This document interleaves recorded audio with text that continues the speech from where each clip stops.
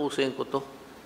Tatapusin ko talaga itong dalawa. Kung ito kung hindi ko ito matapos sa magandang paraan, timingin ko na lang dyan sa opisina ni- nila, ilak ko, tapos sunugin ko yung building nila.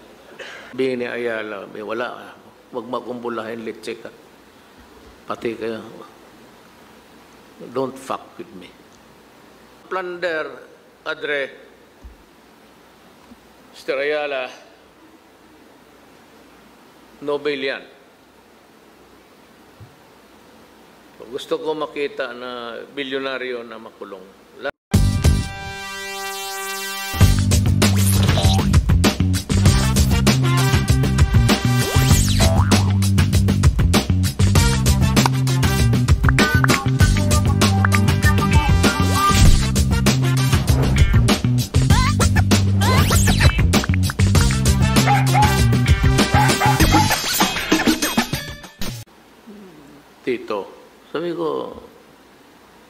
President, you listen. I'm going to tell you a story. Ah, nagduda ako nito noong nagkaroon ng water crisis sometime in April.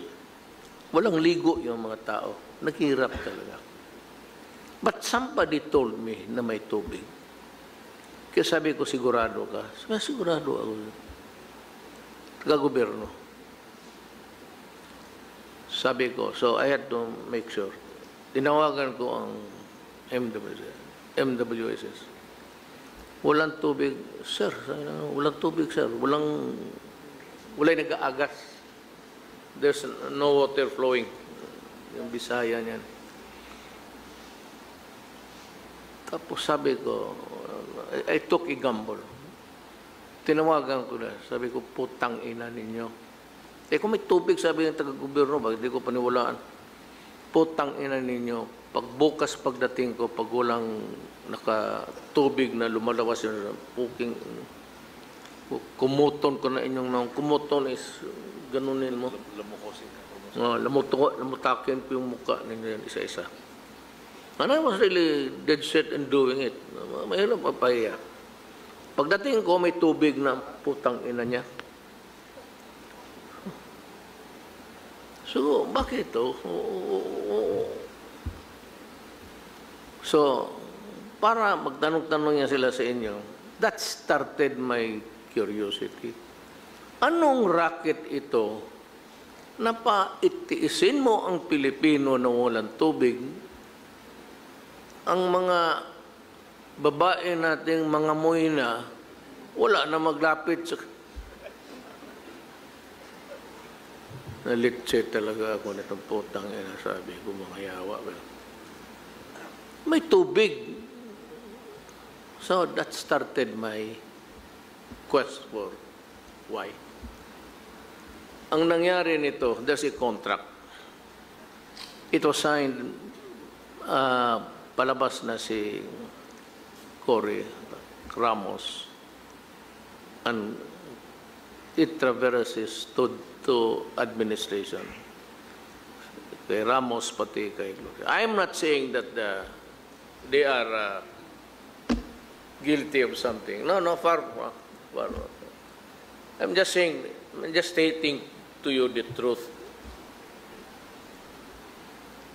Ang contract with Manila Gas, I suppose that uh, Manila Water, I, I suppose that it's the same with Manila because ito yung western part of the Manila went to Manila Gas, Ayala.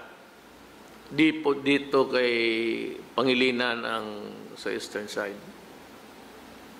Ang ma- masakit talaga to. Tingnan ko, sabihin ko sa iyo, masakit talaga. And you can kill somebody for it. Ang contract,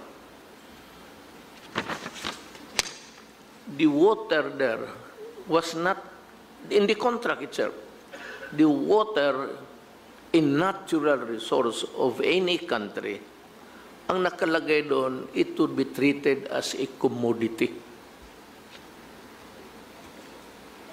Itong, itong, itong Manila, pati itong Manila Water, distributor ito sila, atin yung tubig. That is part of the patrimony of the nation. Ngayon, they, they entered into a contract. I do not know who was the lawyer. Kaya ako binuko si Frank eh. Tapos may text siya kag- kagabi, sabi niya, you tell Rodi I am not a part of it. Kasi I remember when I started to tatanong-tanong na ako about water. Sabi niya, I, I don't know, but I'm sure Drilon said this. ah, sabi mo kay Rudy, magdandahan siya because we might end up paying billions in damages. Kaya sinagot ko siya, Senator Druin, how dare to you to permit to you telling me I cannot review the contract. I will review I will go on and review the contract because I have to know what is what's screwing the people here. Bakit may tubig tapos wala may tubig? Sa, somebody must be in my pas, grabe pa sa presidente. Alam mo, in that contract, sure na, basa mo, our country surrendered everything to Manila Water and to Manila. Everything, including the sovereignty of... Kasi nakalagay doon, in interpreting this contract, Pwede nga Republic of the Philippines eh.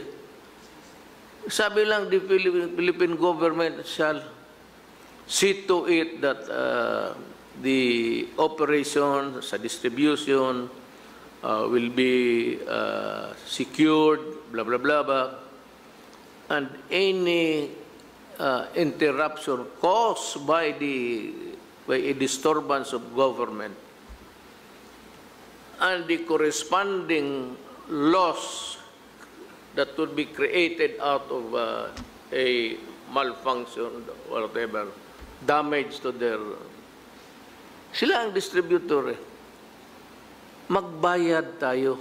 Any loss or the losses that uh, they will incur, babayaran natin.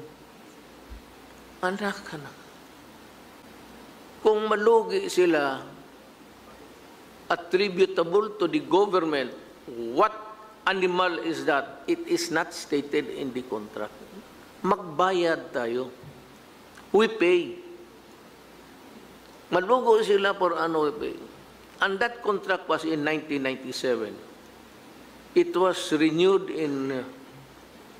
Original contract is 93, sir. Original contract contract is uh, 93. Tapos, uh, 90, oh, 93. Then it was renewed very much earlier in 19, uh, 2009. 2009. Lo- long, long before the, hindi pa mag-expire. About seven years before, nirenew na nila at they were granted an extension panahon ni Gloria. Ngayon ito, ang rates, they control the rates. It's, it is not with us. At yung CIF nila, corporate income tax, ipapasa nila to the consumers. Believe naman talaga sa mga bitoka nito. Hindi na talaga ito. Hindi ko ito masikmura. Ah, meron pa. All in favor. Basta yan isa, we have lost the sovereignty. We bargain it away. Gusto kong malaman kung sino yung mga abogado. Pero ako nagduda ako eh, but he sent a text to Bingbong. Binasa niya kagabi sa akin. Sabi doon, Bimo kay Rudy, wala akong, wala na ako sa Accra yung panahon na yun. Accra is involved. But I am not saying that Accra is involved. At, at this, uh, ano, hindi mo man malaman kung sino yung abogado.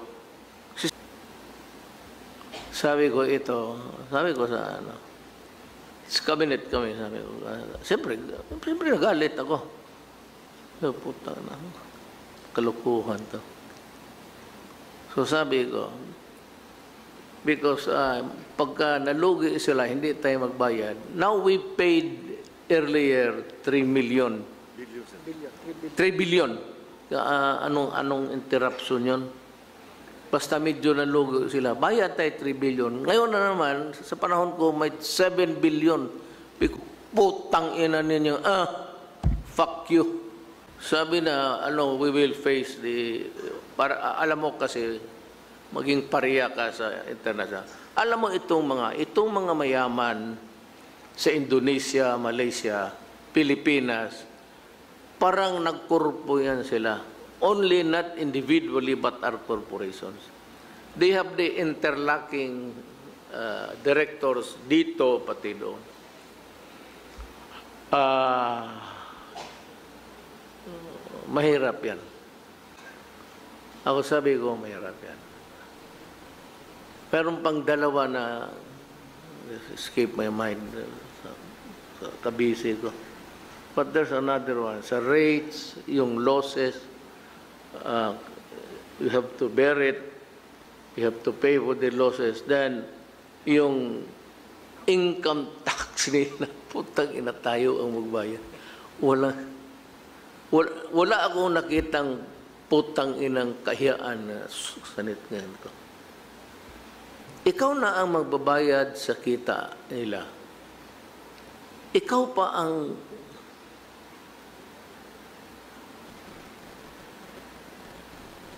wala kang choice sa rates. Sabi ko, alam mo, if you look at the law, maybe, ma- bali ako, but this is a classic case of economic blunder. Wala lang nakasilip nito eh. Because, you know, sabi ko, I can assume that money really talks. Sabihin ni Ayala, may wala, huwag makumbulahin litse ka. Pati kayo, don't fuck with me. I know you. Nilaro ninyo yung Pilipino sa pera. Mahabi ko, I will pursue this. If this is the only thing that I can achieve in this, in my administration, ito na lang. Economic, tibirahin, birahin ko talaga economic blunder. Nakita yung statement, statement nila ngayon. We are ready to talk to the administration, the incumbent, uh, that this is hot, this happened not during their time. No, probably they might have, they might have a little na because it was not during the time that this contract was signed. Pero economic sabotage yan. Ang problema nito, Adre, how do we recover? Ito pang isa. Yung sa bill ninyo, all of you, ay ito isa, kakuha ko na, I remember now.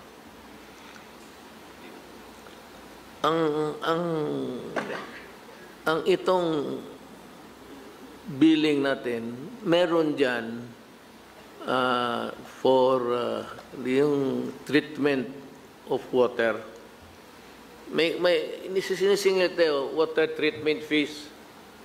Alam ba ninyo, ni kahit isang buting kriolin, walang binuhos yan para sa tubig, para luminis, hindi na bali tayo mamatay. And to think, kanina sabi nila na ano, yung abogado nila, sabi na, sabi mo naman kay Rudy, total, pag-usapan na lang, east to west, pinaghati. Total, ito lang naman ang tinamaan. We, we can always no, adjust the rates. Ano, yung mga, paano na yung, para kang gago. Now, we can, probably over the years, we can reduce o tapos babawain. Sabi ko, how can that be? How many years na?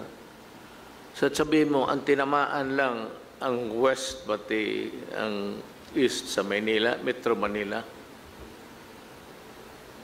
He said, do not fuck me. When we paid for your corporate income tax, kasi sinalo ng ano eh. So, kung sinalo natin, pera natin ang binayad. It is as if. Ngayon, ang pera yan, hindi ng pera ng Metro Manila, nor of the east or the west.